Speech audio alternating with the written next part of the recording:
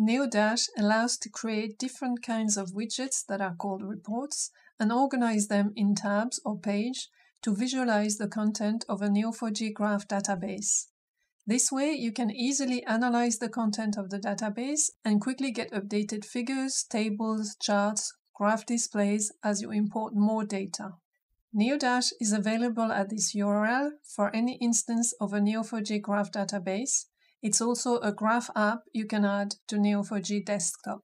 With the database running locally in Neo4j desktop, let's connect NeoDash to this database with an existing dashboard. First, you can create a widget to document the dashboard. Here I've used an embedded iframe, but you can also write the widget in Markdown. You can read that the dashboard is applied to a database that contains node with two main labels, geographical objects and categorization. And there are two kinds of geographical objects, landmarks and toponyms.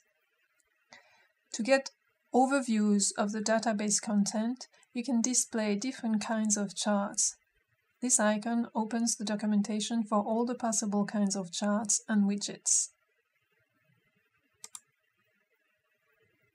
This one shows the proportion of landmarks and toponyms.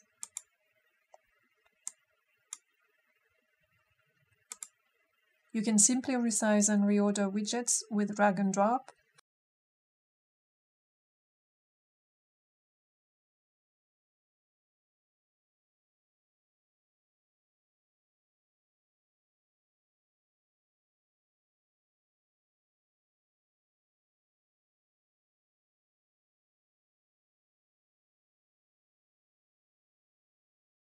On this page, you can explore the structure of classes used to normalize the categorization of objects imported from different sources.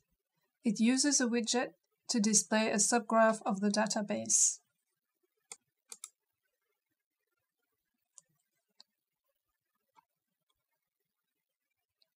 With advanced settings like defining the size and color of nodes from the value of a property of the node.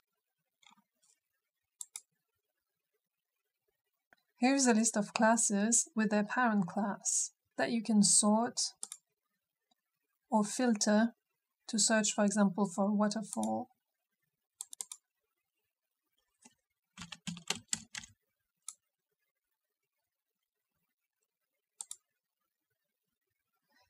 This table is produced with a more elaborate query. After you match a set of nodes with a pattern on labels, property values, or by relation type and property, you can produce a table with any value of those nodes label, property value, or even relation types. Graphs are indeed a great formal structure because you can interrelate everything, but also avoid being lost in complexity by choosing what to expose for a specific purpose in any of the more basic formal structures, list, hierarchy, categorization, and tables. In NeoDash, you can apply rule-based styling on tables to make some lines stand out according to some property values.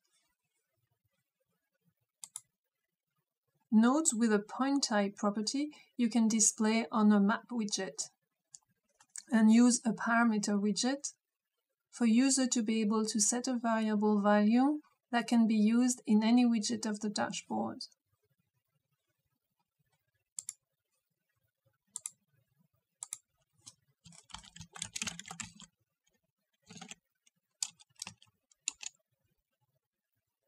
You can define a dashboard to help users who cannot write Cypher to get an overview of the database content, or for yourself to visualize how the database builds up as you add more data to it. Let's import data.